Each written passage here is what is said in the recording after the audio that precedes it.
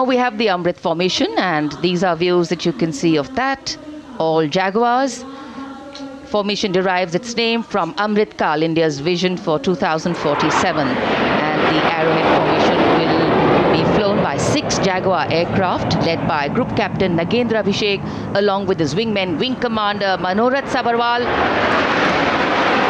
Wing Commander Vishwanathan Naga, Wing Commander Jay Krishnan, Squadron Leader Akash Karpe.